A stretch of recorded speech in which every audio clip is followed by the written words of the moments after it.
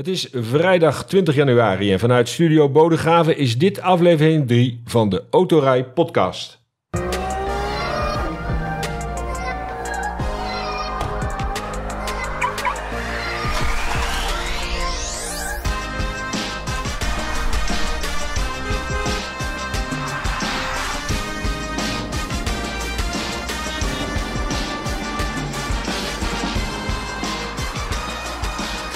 De Autorij Podcast is de talkshow over auto's. Auto-nieuws, actualiteit, alles over auto's en mobiliteit.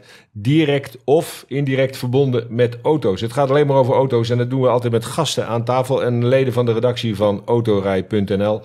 Uh, naast mij zit uh, van Leeuwen. Uh, Naal, je hebt weer het, nodige bij elkaar gesprokkeld. Jazeker. Ja, ja, aan nieuwtjes. Ja, in de eerste week van uh, het nieuwe jaar uh, is er toch alweer een hoop gebeurd. Dus okay. uh, genoeg te nou, vertellen. We komen zo bij je, want we hebben een andere zeer belangrijke gast aan tafel. Ik vind het een eer om hem hier te hebben.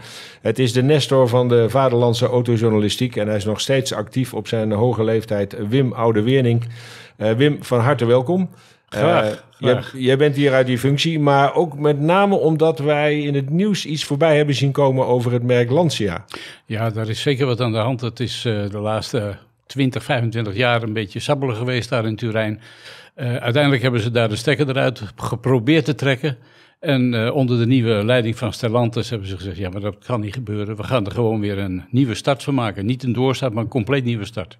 Nou, daar gaan we straks uh, uitgebreid uh, over uh, hebben. En jij hebt ongetwijfeld ook nog ideeën en meningen over wat er bij Nile vandaan komt. Want Nile, ja, je zei het al, het jaar 2022 is afgesloten. De boeken zijn dichtgeslagen. Maar als we die boeken nog één keer open doen, dan staan daar toch wat minder goede cijfers in dan de jaren daarvoor. Ja, dat kun je wel zeggen. Dat is wel interessant. De eerste paar dagen van het nieuwe jaar, dan komen allerlei cijfers binnen. Verkoopcijfers, hoe is het gegaan het afgelopen jaar? Nou ja, dat de autoverkoop in Nederland al uh, ja, jaren achter elkaar daalt, ja, dat, dat wisten we. Maar goed, opnieuw, 2022 was wel echt een absoluut dieptepunt. 312.129 nieuwe personenauto's verkocht. Ja, dat is echt een dieptepunt. Het is uh, voor zover bekend uh, het laagste aantal sinds eind jaren 60 van de vorige eeuw. En is ook aangegeven waaraan dat te wijten is? Uh, is er een makkelijke verklaring of zijn er een, een complex aantal factoren? Ja, vooral het laatste. Kijk, je hebt natuurlijk te maken met uh, wereldwijde tekorten aan materialen, onderdelen, uh, chips, natuurlijk al wat langer speelt, transportproblemen. dat heeft natuurlijk invloed gehad op, op de autoverkoop, ook buiten Nederland. Want in heel Europa, eigenlijk wereldwijd, ja, is de autoverkoop gewoon dalende. Maar Nederland uh, loopt nog een stukje achter. En dat heeft ook te maken met uh, de fiscale uh, regels. Want auto's zijn in Nederland gewoon te duur. En daar kan ik je straks wat andere voorbeelden van geven. Maar dat heeft er ook mee te maken. Ja. Maar je hebt gelijk dat, dat het eigenlijk een mondiaal probleem is. alle autofabrikanten in Europa hebben minder verkocht. Ze hebben wel goed verdiend, omdat er eigenlijk een tekort aan auto's was. Dus ze hoefden niet veel kortingen te geven.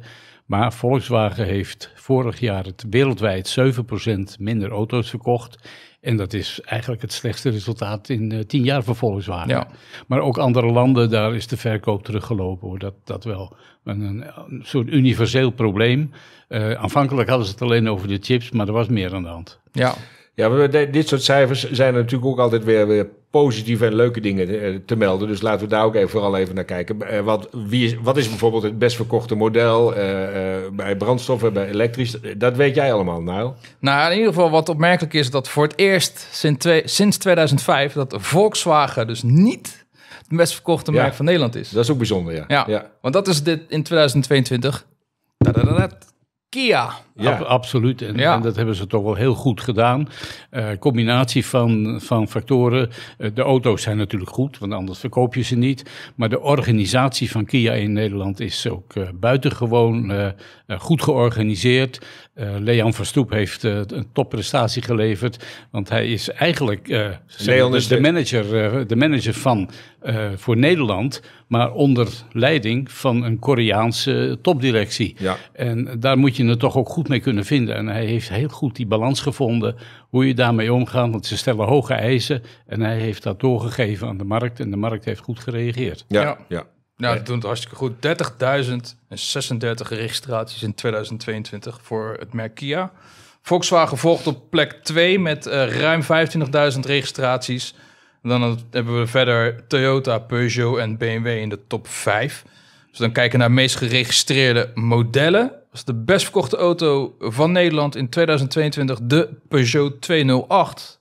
Ja, dat is dan wel bijzonder. En in Europa ook. Ja, Ja, Dus wat dat betreft, eh Stellantis, het is natuurlijk een, een heel eh, divers eh, gezelschap daar met, eh, met wel 13, vers- eh, 13 verschillende merken. Maar eh, Tavares, Carlos Tavares, de grote baas van eh, Stellantis, heeft dat toch wel allemaal goed ge- eh, verdeeld en goed gepland. En Peugeot is een sterk merk geweest altijd en nog steeds. Het is het op één na oudste merk van de wereld uiteindelijk. ja, ja. auto ook trouwens, die 208. Het eh, is toch een auto die echt wel in de smaak valt bij het grote publiek. Op basis van eh, uitstraling, prestaties, prijs. Dat hebben ze eh, weer, weer goed voor elkaar. Ja. Maar dat is een auto met brandstofmotor, geen elektrische. Nou, de Peugeot 208 is dus ook leverbaar eh, met volledige elektrische aandrijving. Die cijfers die zijn eh, verwerkt in het totaal. Hè, dus eh, de Peugeot 208 is in zijn totaliteit de best verkochte auto van Nederland met 9640 registraties. Daarvan zijn er 3635 stuks volledig elektrisch aangedreven. Oké. En dan komen we meteen bij de elektrische auto's. Is daar ook een lijstje van wat de best verkocht is? Ja, de best verkochte elektrische auto van Nederland is hetzelfde als 2021. En dat is de Skoda Enyaq. Op zich geen verrassing. Kijk maar op straat. Je ziet eh, elke dag eh, al een paar van die Skoda's voorbij rijden. Het is een ontzettend populaire auto onder eh lease-rijders vooral. Die natuurlijk gewoon elektrisch willen rijden. Willen profiteren van alle fiscale voordelen. Maar ook een praktische auto zoeken. Eh, ruim genoeg voor het hele gezin. eh, met goede specificaties. Maar bovenal een aantrekkelijke prijsstelling. Dat is ook een van de redenen waarom de Skoda Enyaq eh, aanzienlijk populairder is dan bijvoorbeeld de Volkswagen ID4.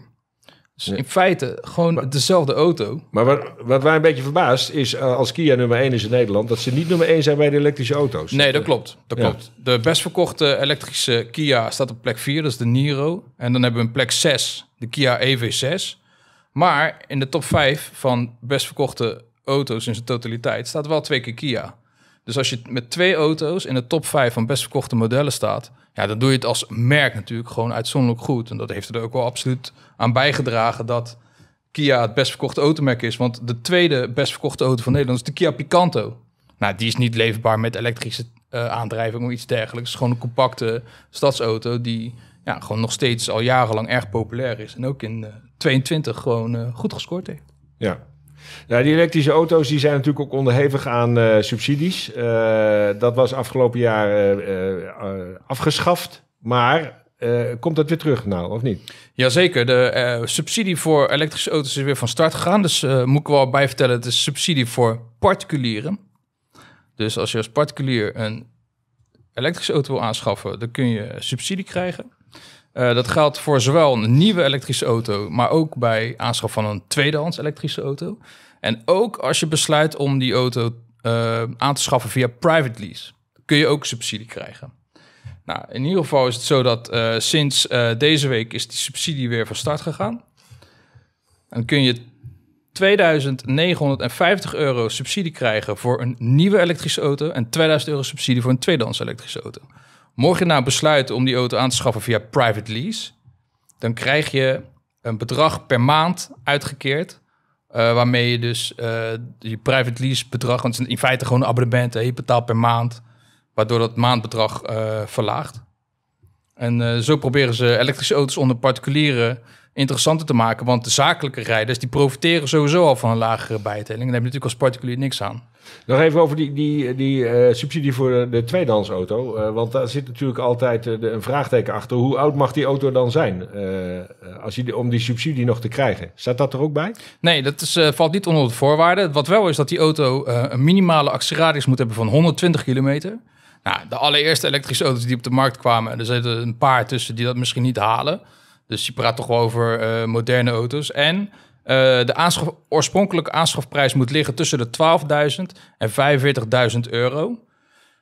Ook moet die auto eh, worden aangeschaft bij een erkend autobedrijf. En hij mag niet achteraf zijn, is, zijn, zijn omgebouwd naar elektrische auto's. Het moet echt een originele elektrische auto zijn. En dat zijn de voorwaarden waar die aan moet voldoen. Voor de rest Ja, en dat geldt alleen voor volledig elektrische uh, Volledig elektrisch. auto's. Het geldt niet Ja. voor plug-in hybrides of hybride. Gaat echt om... Dat was al zo. Ja. Het geldt trouwens officieel ook voor waterstofauto's. Alleen ligt de, de grens bij 45.000 euro. En helaas is die techniek nog, nog, nog te duur... dat er geen, auto, eh, geen waterstofauto eh, onder de 45.000 euro te vinden is. Nee. Dus Dat gaat Ja. ook voorlopig niet gebeuren, want ik denk dat de hele eh, waterstof, brandstofcel eh, richting, ontwikkeling, die gaat toch naar de zware bedrijfswagens voor de lange baan.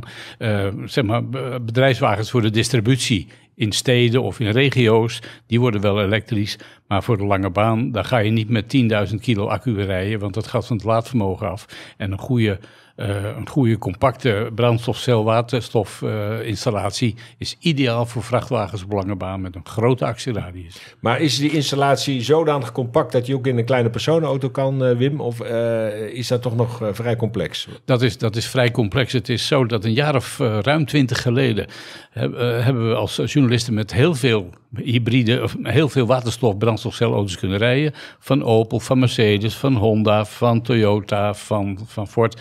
Maar eh, in één keer viel dat stil. En dat komt omdat er geen duurzame waterstof beschikbaar was. Er waren nog wat andere ontwikkelingen over de opslag.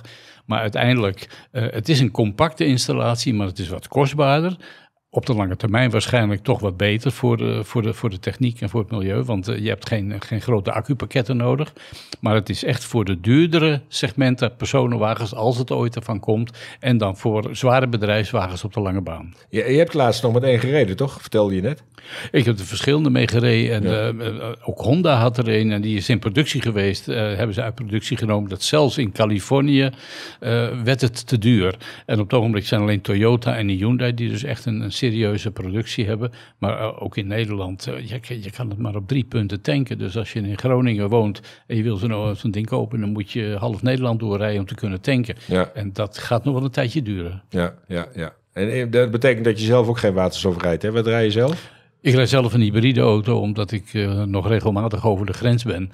En eh, ja, dat, dan wordt het laden toch wel een beetje een dingetje. Ja, Eh, ja. Je kan als je goed plant, gaat het lukken. Maar als je zegt, ik ga vandaag toch even die kant op. En je hebt dat niet onder controle. Met name in Frankrijk, daar hoor je heel veel horrorverhalen van mensen die zeggen, ja, de accu is leeg. Maar je kan niet laten opladen onderweg. Ja. Hebben wij alle cijfers behandeld, eh Nijl? Of heb je nog staartjes die je graag de luisteraar wil meedelen? Nou, ik wil in ieder geval even nog inhakend op eh, de subsidie. Eh, Ja? Mocht je nou eh, echt zoiets hebben van, ja, daar wil ik echt gebruik van willen maken. Ja, dan moet je niet te lang wachten. Want het is namelijk zo geregeld dat dus namelijk per jaar een, een bepaald subsidiebedrag beschikbaar. En als in dat jaar de subsidie opraakt, ja, dan is het ook gewoon op.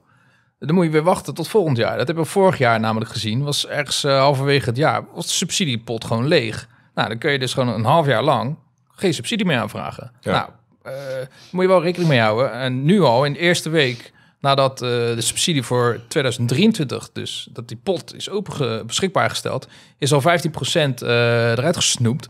Dus je ziet dat het, ja, het kan best hard gaan. Je moet niet op het laatste moment wachten. Wat wel is, het is geen, geen korting, hè? Het is een extraatje wat je achteraf krijgt.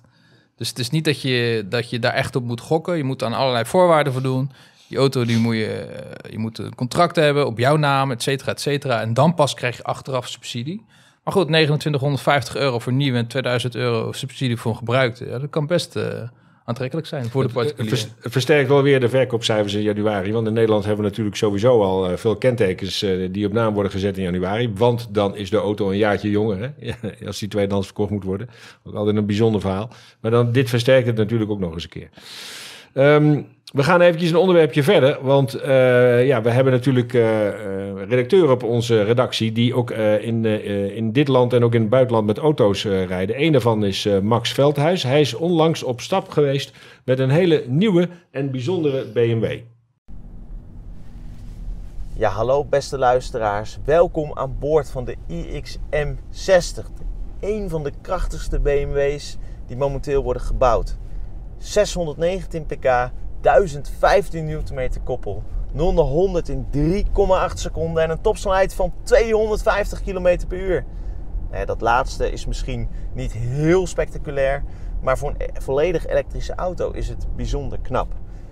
Maar die cijfers vertellen niet het hele verhaal van de iX M60. En voor deze podcast is het met name interessant om even te gaan luisteren naar het palet aan geluiden dat BMW in samenwerking met componist Hans Zimmer, bekend van vele Hollywood blockbusters, samenstelde voor deze M60. We rijden nu in de rijmodus Personal, eigenlijk een beetje de comfortmodus. En als je een gas geeft, dan hoor je gewoon een beetje een zacht ja, gezoom op de achtergrond. Maar zetten we de iX nu in de rijmodus Sport, voelen we meteen dat de auto zich eigenlijk even scherp stelt. En dan hoor je een zwaardere brom op de achtergrond die aanzwelt naarmate je harder gaat rijden. Maar eigenlijk klinken de rijmodus Personal en Sport nog wel van geluiden die we wel kennen van. Hoor je van andere EV's. De meest bijzondere uh, geluidspakket vind ik eigenlijk wel de rijmodus Relax. En dan gaan we even over naar Relax. En dan gaat de auto de stoelmassage aanzetten. En dan hoor je een soort, ja.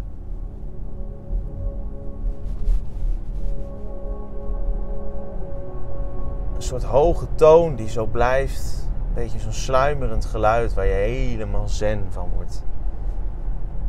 Heel erg bijzonder. Dan heb je ook nog de rijmodus Expressive. Die zullen we ook nog even laten horen. Die is ook best apart.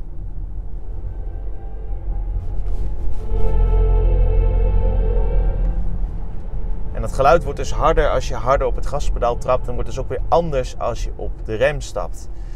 Ja, het is misschien niet helemaal hetzelfde als een 4 liter V8. Maar het creëert toch een soort unieke geluidsbeleving die het dan toch wel weer ja, leuk maakt om ook met elektrische auto's onderweg te zijn. Bedankt voor het luisteren en snel weer terug naar de studio. Ja, dit is wel uh, heel bijzonder, hè? Die, die geluidsbeleving, uh, Wim. Zeker bijzonder. Uh, het is zo dat een paar jaar geleden had Peugeot dat voor de GTI, geloof ik, een elektronische geluidsbeleving. En er werd heel veel kritiek op gegeven, maar uiteindelijk is dit toch de toekomst voor, voor elektrische auto's. Overigens vind ik het wel bijzonder dat alles is elektronisch, alles is digitaal. En dan wordt er gesproken over een gaspedaal. Hm. Dat moeten we eigenlijk afschaffen. Stroompedaal. een stroompedaal of een E-pedaal. Ja, E-pedaal, ja. Maar je moet wel oppassen dat je niet in slaap valt, toch? In zo'n uh, relax... Uh, ik wou net zeggen, want die... Vooral uh, die... ja, de massagestand er ook massagestand, bij ja. en hij vertelde het op dusdanige manier dat we hier op bijna begonnen te slapen. Dus ja, nee, dat is, dat is wel heel bijzonder. En dat is pas het begin. Dat is natuurlijk oneindig veel mogelijkheden op dit gebied. Hey, uh, we hebben het uh, over het afgelopen jaar al uh, even gehad. 2022 is afgesloten. En dan is er bij de start van het nieuwe jaar altijd een verkiezing. Die al begint in het oude jaar. Maar de uitslag wordt bekendgemaakt in dit jaar. Want dan gaat het ook over de auto van het jaar 2023. Hè? Dat zeg ik goed, toch? Ja. We hebben in de vorige podcast hadden we de zeven finalisten, de zeven finalisten al even kort aangehaald. nou, een paar dagen geleden ehm, is de winnaar bekendgemaakt. en dat is de Jeep Avenger. Dus bij deze gefeliciteerd Jeep met eh, de allereerste auto van het jaarprijs voor het eh, Amerikaanse automerk. Uh, dus een prijs wordt gezien als de belangrijkste autoprijs in Europa. dit jaar is de winnaar dus gekozen door 59 autojournalisten uit 23 Europese landen. dus het is wel echt veel mensen die daarbij betrokken zijn. Iedereen geeft zijn mening. Je moet een bepaald aantal punten geven aan auto's. En die auto's worden op allerlei gebieden beoordeeld. Uh, dat is een proces wat al maanden geleden begonnen is. Nou, uiteindelijk hou je dus uh, zeven finalisten over. en in de finale kwam de Jeep Avenger als winnaar uit de bus. Met grote afstand trouwens, tot de nummer twee. tweede was de Volkswagen ID Bus. Dus de, zeg maar de, ja, de moderne interpretatie van de iconische Volkswagen T1. Uh, bus. Maar in ieder geval echt met een grote afstand uh, gewonnen. Het is de eerste Jeep die 100% elektrisch is aangedreven. Het is ook de eerste Jeep die in Europa voor Europa is ontwikkeld. En het is ook de kleinste Jeep ooit. Ja, het is een compacte hoe ziet hij er ongeveer uit voor de luisteraars, want die hem nog niet kennen? Het is een compacte SUV. Het is een auto in het B-segment. Het, is, ja, het, is geen grote auto. Uh, hij maakt gebruik van dezelfde techniek als bijvoorbeeld Opel Mokka, de Peugeot 2008. Dus zeg maar het onderstel en die, die aandrijflijn met die batterij in het midden en, en dergelijke. Dat is in feite hetzelfde. Komt ook omdat Jeep, Peugeot en Opel uh, vallen allemaal onder hetzelfde Stellantis concern. Maar goed, het is wel een auto met echt wel eh, een heel eigen karakter. Met typische Jeep-kenmerken. Je ziet het al op grote afstand, zeker die grill. Dat het gewoon een echte Jeep is. Ik heb er zelf nog niet mee gereden. Maar het feit dat deze auto door, ehm, moet ik het even goed zeggen, door 21 juryleden van de 59, dus als absolute favoriet is eh, gekozen. Nou, dat zegt toch wel Dat genoeg is bijna over de deze helft. auto. Ja, Ja, dat is bijna de helft. Een goede winnaar, Wim. Ik denk het wel, ja. Het, eh, het bewijst ook dat Stellantis eh, heel erg creatief is om met die, die platformstrategieën, dat is al iets wat enkele tientallen jaren loopt eh, bij de verschillende concerns, om daar zoveel variatie in aan te brengen. Eh, niet alleen met het design, want die Jeep ziet er totaal anders uit dan die Mokka natuurlijk, maar ook met, eh, met de beleving, met het rijden ermee, eh, Ja. met aandrijfsystemen, met, met de interieurs. Eh, je ziet ook die verschillen tussen de Opel Astra en een, en een Peugeot eh, 3000, eh, 3008 of 308. Die zijn totaal verschillend om te zien en te rijden. Maar de onderstellen zijn eh, redelijk hetzelfde, vooral de aandrijfsystemen. Ja. ja. Overigens, die, die auto van het jaarverkiezing, ik wil het toch nog wel een keer zeggen. Er zijn er heel veel in de wereld geweest de laatste tientallen jaren. Maar het is toch een Fred van de Vlucht zijn idee geweest in 1963 met Autovisie. Dat, Ja. eh, Ja. dat wordt wel eens vergeten. Maar eh, daar is de, de, de basis gelegd voor de wereldauto van het jaarverkiezing. Ja. Ja, eh, Ja, Jacob Bijlsma had het er nog over in zijn column in de Telegraaf eh, afgelopen vrijdag. eh, dat er heel veel verkiezingen destijds waren. En dat Fred van der Vlucht dacht van, ja, maar ik ga het bundelen. Ja. Ik maak er één van, en, eh, met naam en faam, eh, voor heel Europa. Dus Ja. eh, dat is heel mooi. Nou, ja, laten we eerlijk zijn. Als je 59 eh, experts bij elkaar kunt sprokkelen, dan heb je wel zeg maar, een, een, zodanige basis dat je ook wel, eh, ja, dat zo'n verkiezing ook echt wel waarde krijgt. Weet je, het zijn er niet een paar die, die een winnaar kiezen. Het zijn wel echt veel mensen uit allerlei verschillende landen met verschillende ideeën. En elk land heeft natuurlijk een beetje zijn eigen automarkt. Dus ja, Ja, dat, ja. eh, dat blijft toch wel goed. Eh, Mocht je ja, geïnteresseerd zijn in een Jeep Avenger trouwens, hij is leverbaar vanaf 39.500 euro. Daarmee komt u dus in aanmerking voor de subsidie waar we, net, waar we het net over hadden. Eh, Als je alles wil weten over die auto, ja, lees het op autorij.nl. ja, ja, ja, maar je hebt er geen aandelen in, toch? Want je bent hem nu wel heel erg aan het promoten, Nile. Nee, nou Ja, goed, ja. eh, we doen het eenmalig. De winnaar van de, van de prestigieuze auto van het jaarverkiezing. Ja, Dan houden we Ja, er nu over op. Dan houden we er nu over op, want dit is natuurlijk weer een, eh, een mooi jubelverhaal. Maar er zijn ook andere verhalen in Autoland. Die zijn wat minder eh, jubelend. En dan eh, kom je al eh, heel snel bij Tesla. Eh, want Tesla, ja, dat was eh, jaren geleden. Dan moest je erbij horen en dan moest je een Tesla hebben. Maar dat gaat niet zo goed. Eh, Wim, jij weet er ook meer van. Nee, dat, het, komt allemaal samen op het ogenblik dat de wet van de remmende voorsprong nu wel erg van toepassing is. Het begon kort geleden dat Elon Musk een groot deel van zijn aandelen, enkele honderden miljoenen dollars, heeft verkocht en op de markt heeft gegooid. En dat heeft de aandeelhouders nou niet bepaald geplezierd. En de, de, de koers, de beurswaarde is dus behoorlijk eh, ingezakt, tientallen procenten. Eh, de verkoop in Amerika eh, die is vorig jaar wel goed gegaan. Het was het meest verkochte merk in het premium, het luxe segment. Maar de elektrificatie van het wagenpark in Amerika aan de, zowel de west- als de oostkust, die gaat erg snel. Nog wel sneller misschien dan in Europa. Natuurlijk in Texas, eh, in, in, de, in, de, in, de, in de middengedeelte, daar worden niet zoveel elektrische auto's verkocht door de afstanden. Maar in de stedelijke agglomeraties wel. Dus daar gaat de verkoop de laatste tijd wat minder. Ze moeten misschien zelfs mensen ontslaan. In Europa deed Tesla dit afgelopen jaar heel erg goed. Maar dat loopt nu ook terug. En met name in Nederland. En Nederland was natuurlijk een gidsland voor Tesla. Eh, en, de- duizenden auto's per jaar op een gegeven moment, meer dan 10.000. En nu zijn het er eh, maar 4.000. Eh, maar dat gaat nu in de rest van Europa ook wel gebeuren. Want de hele Europese auto-industrie, elk concern heeft wel meer dan één elektrisch model in de aanbieding. En dan gaat de concurrentie komen. Tesla heeft daarom ook besloten de Europese prijzen met 20% te verlagen. Tegelijkertijd is er onrust eh, over de eh, arbeidstijden en andere CO, eh, CAO-voorwaarden in Duitsland. Dus dat zit daar ook niet lekker. En dan in China. Daar hebben ze de prijzen ook moeten verlagen, omdat de verkoop wat eh, terugloopt. En daar is dan weer een grote onrust ontstaan onder kopers. Die een paar weken geleden de volle prijs hebben betaald. En nu ineens zien dat de buurman voor 20% minder. eh, dus Musk heeft wel wat eh, Teweeggebracht. eh, teweeggebracht. En een andere managementmissie dan dat hij tot voor kort had. Het zijn ook geen misselijke prijsdalingen. Hè? Als je even kijkt naar Nederland, dan is de Tesla Model Y, eh, dan even, als ik me dan even beperk tot de long range eh, uitvoering, is 12.000 euro in prijs gedaald. Ja. Ja? 12.000 euro. Ik kan me best voorstellen dat als jij inderdaad eh, onlangs een auto gekocht hebt voor een bepaald bedrag en dan nu erachter komt dat die auto dus 12.000 Ja. euro minder kost, ja, Ja. dat je dat dan toch wel even afvraagt van, joh, wat is hier aan de hand? Maar wat een verschil met een jaar of drie geleden. Toen eh, die eerste Model Y kwam en dat de mensen in het donker in een weiland eh, in het westelijk havengebied hun auto mochten ophalen. En dat ze in de rij stonden met hun, modder, eh, met hun poot in de modder. Mhm. En Ja. dat het nu op het ogenblik eh, Ja, ja, dat- eh, dat kortingen allemaal- gegeven moet Dat worden. namen ze allemaal voor lief, hè? Ja, zo snel kan het veranderen. Ja, als je kijkt, de Tesla Model 3, dat is met, met, met circa 43.000 eh, auto's, is veruit de best verkochte elektrische auto in Nederland. in aantallen, eh, van wat er op de Nederlandse wegen rondrijdt. Is echt met grote afstand. Maar als je kijkt naar eh, de verkoop zoals dat nu is, ja, in 2021 2566 exemplaren.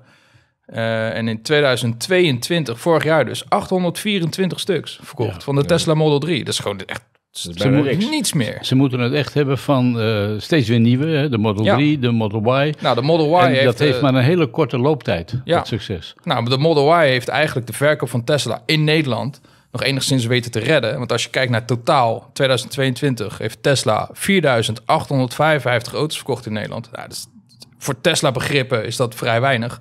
Eh, maar daarvan neemt de Model Y dus 3.892 stuks voor zijn deel. rekening. Die heeft Ja. veruit het grootste deel voor zijn rekening genomen. Daarmee is nou ja, het jaar gered. Ja, ik weet niet of je dat zo mag zeggen, want het is in zijn totaliteit nog steeds mager. Maar als je kijkt hoeveel de Model 3, de Model S eh, en de Model X eh, qua verkoop voor hun rekening nemen, ja, dat is bijna niks meer. En komt eh, Tesla nog met nieuwe modellen? Of moeten ze dan hiermee redden en, en gaat het nog verder naar beneden? Nou, hij heeft een paar jaar geleden die hele spectaculaire eh, pick-up gelanceerd. Die hele hoekig gelijnde eh, pick-up eh, in Amerika. En die zou het moeten doen, maar daar zit ook vertraging in. Ik denk Ja. dat dat ook een, een van de redenen is waarom Tesla in de fase is beland waar, waar, het, zich nu, waar het nu in zit. Eh, met een hoop negativiteit, omdat natuurlijk ontzettend veel beloofd wordt, al jarenlang, eh, op het gebied van nieuwe modellen, op het gebied van technologie. En het wordt al- alsmaar uitgesteld. Er worden heel veel eh, beloftes worden niet nagekomen. En ik denk dat dat een van de redenen is dat ook bijvoorbeeld onder de aandeelhouders van Tesla, dat, ja, dat men toch niet happy is. Ja, maar ze hebben bijvoorbeeld ook, ook een, een strategie gehad een tijd dat je alleen een witte of een zwarte kon kopen. Ja. Bij de gratie van, eh, hè, mocht je dan... de tijd ja, van eh, Ford, hè? Ja, Ja. en eh, dat, dat, dat, dat is natuurlijk niet meer waar te maken. En bovendien, ja, hun, hun distributieapparaat en hun serviceapparaat is natuurlijk heel, heel weinig transparant. Volkswagen en Stellantis en Renault en, en Nissan, ze hebben allemaal een dealerapparaat waar je terecht kan. En dat is met Tesla... Ja, ik heb nog nooit ergens een uithangbord met Tesla dealer eh, zien hangen onderweg. Nee, We gaan, we gaan eventjes eh, door, eh, want eh, ja, dit gaat dan over een automerk wat, eh, wat eh, slecht gaat en wat misschien op die manier niet eeuwig in de herinnering zal blijven hangen. En eh, Bart heeft eh, een, een ode, dat doet hij eh, bijna elke podcast, aan een bijzondere auto. En dit is een auto die bij iedereen, denk ik wel, die enigszins met auto's te maken heeft gehad, in de herinnering is blijven hangen.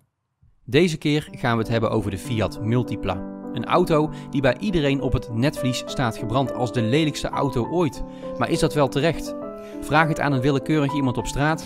Wat is volgens jou de lelijkste auto ooit gemaakt? En grote kans dat de naam Multipla van de tong rolt. Het lijkt een ingebakken antwoord, terwijl ze waarschijnlijk nog nooit van een Pontiac Aztek of Sangyong Rodius met beroemde dakkapel hebben gehoord.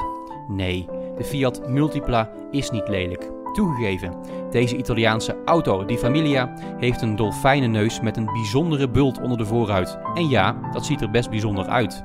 Maar is het dan direct een reden om deze auto uit te roepen tot de lelijkste auto ooit? Nee, wat mij betreft niet. De Multipla is een ongepolijste diamant. Hij rijdt namelijk fantastisch, dankzij een bijzonder fijn onderstel. En wie wil er nu niet met drie personen voorin zitten? Het kan in de Multipla. De Multipla is niet lelijk. Het is een auto met karakter. Ben je het eens met hem, eh, Wim? Ik ben het helemaal mee eens. Ik ben altijd een fan van de Multipla geweest eh, vanaf het eerste begin. In de tijd op de redactie van Automotive News eh, wat voornamelijk Amerikanen waren, die zeiden ook meteen, wat een lelijke auto, je, je moet het schrijven dat die lelijk is. Zo heeft de pers die auto een aardig setje de verkeerde kant op gegeven. Eh, uiteindelijk eh, was het een concept van de Multipla, wat, wat eigenlijk iedereen wilde. Het moest compact zijn, het moest ruimte hebben, het moest praktisch zijn. Hij was vier meter lang, je kon er met z'n zessen in zitten, met z'n vieren in zitten ja, het was een beetje, een beetje PlayStation-achtig van binnen. Het was niet met notenhout of leer.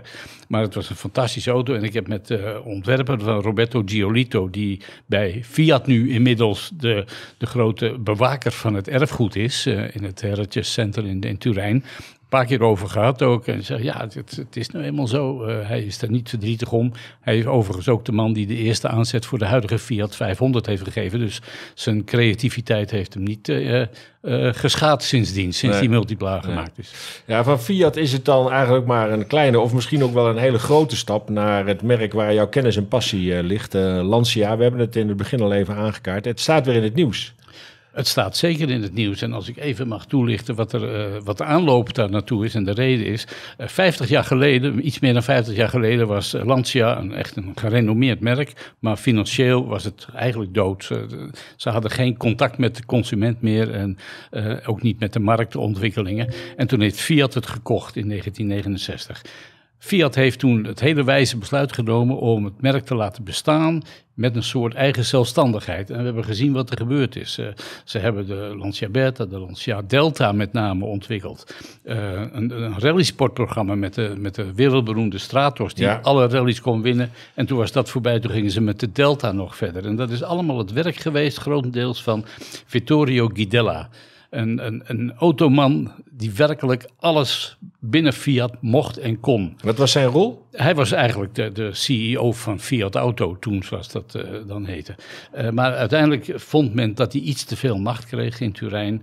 Uh, hij moest weg en is toen vervangen door een tweemanschap, een financieel directeur Romiti en een automan Paolo Cantarella die altijd trots zei, uh, want hij moest ook Lancia besturen, van mijn eerste auto was een Lancia Appia, maar vervolgens heeft hij eigenlijk niets gedaan aan Lancia. En eigenlijk eind jaren negentig is het uh, al een beetje in verval geraakt. Uh, ik heb uh, ingenieurs gesproken die altijd steen en been klaagden dat als er een nieuw model moest worden ontwikkeld, moesten ze gebruik maken van een, zeg maar een afgetankt Fiat-platform. Ja.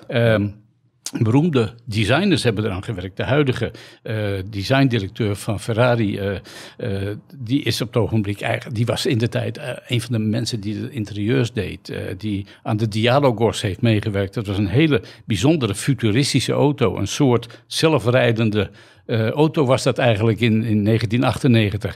En meneer Cantarella heeft tot voor twee weken voordat die auto geïntroduceerd zou worden, dat tegengehouden. Uiteindelijk heeft hij toegegeven, zet hem daar maar neer. En zo ging dat van model tot model. Uh, er moest bespaard worden op de materialen. Ja, en toen liep de verkoop behoorlijk terug. En uiteindelijk ging het met Fiat heel slecht. Uh, is Sergio Marchionne gekomen, een grote ja, zeg maar een financieel genie die de zaak reorganiseerde. Um, en Fiat weer vrijmaakte van General Motors, want daar zaten ze ook nog mee, waren ze ook nog mee verweven geraakt. Ja, want de naam Chrysler is er ook aan verbonden geweest. Dat is daarna gekomen en, en Marchione heeft toen op een gegeven moment uh, uh, Fiat Chrysler georganiseerd. Hij, hij kocht uh, Chrysler, wat failliet was gegaan kort na de financiële crisis, de Lehman-crisis. Maar heeft hij niet voor betaald, nauwelijks voor betaald. Hij zegt, dat, krijg, dat wil ik wel hebben, maar dan krijg je moderne, Europese, compacte, zuinige aandrijftechniek. En dat is natuurlijk de, de, de deal van de eeuw geweest. En zo is Fiat Chrysler Automobiels ontstaan. En dan vervolgens dacht hij, ja, maar met Alfa Romeo en Lancia, dat kan niet. Heeft hij gezegd, we gaan alles alles wedden, al het geld stoppen in Alfa Romeo. Veel geld in geïnvesteerd. En uh, Lancia, ja, dat moest maar verdwijnen. Hij heeft het nooit officieel aangekondigd dat ze stoppen, maar dat was wel de bedoeling. De Y die kwam en die zou uh, eigenlijk drie jaar, vier jaar geleden al uit productie zijn gegaan. Maar ja, de verkoop in Europa was gestopt, maar in Italië bleef dat maar doorgaan. Elk jaar weer opnieuw 40.000, 48.000 met één modelletje in één markt. Terwijl de verkoop van Alfa Romeo wereldwijd dramatisch slecht bleef met de nieuwe modellen.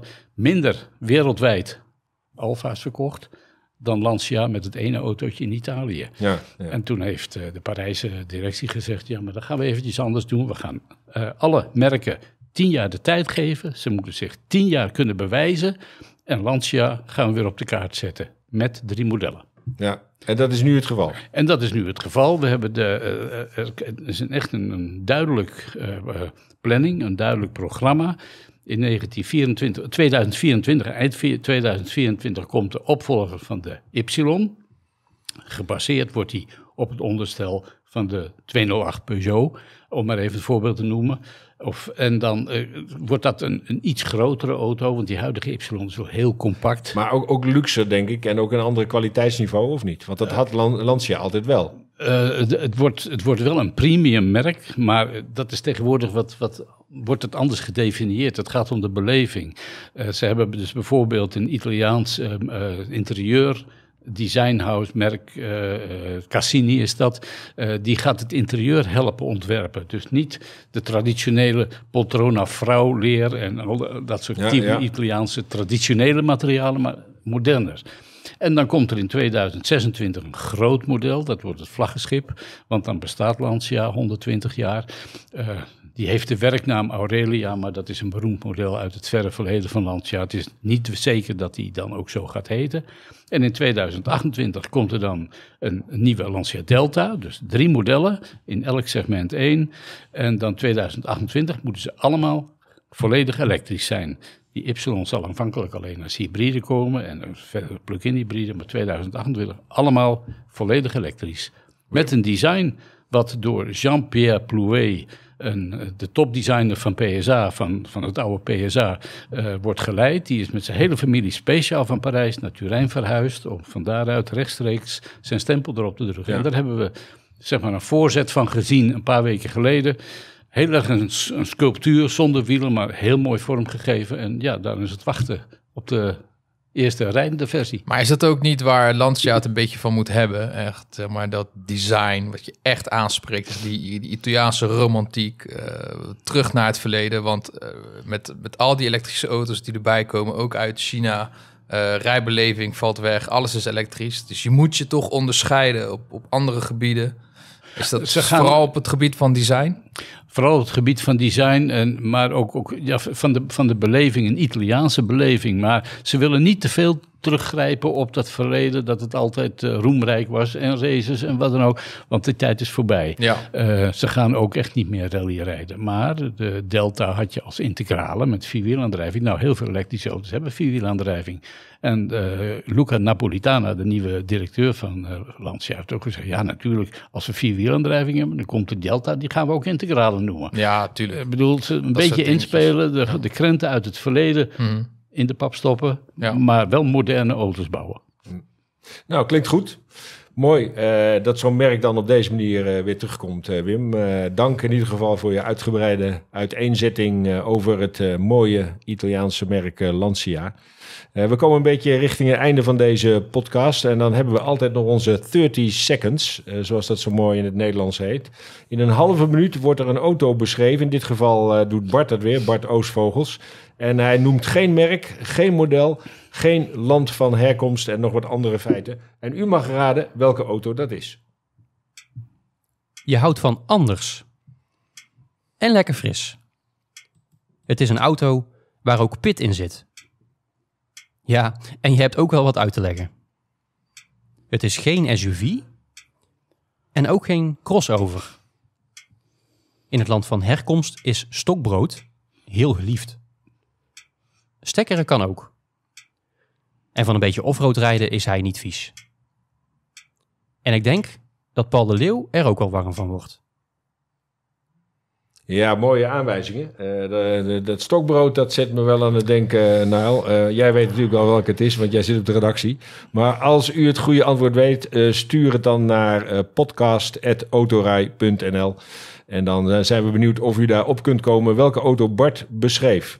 Dit was het eh, eh, voor nu. Eh, Wim Oude Weerding, nogmaals dank voor je aanwezigheid hier in, eh, in onze studio in Bodegraven. Nile, jij ook weer bedankt. Nile van Leeuwen. Graag gedaan. Met eh, alle kennis en kunde van eh, de redactie van autorij.nl. Volg ons op de site met dat adres op Facebook, Instagram, Instagram en YouTube. Of laat een review achter op je favoriete podcast app. Mail je vragen en opmerkingen naar ons mailadres podcast.autorij.nl.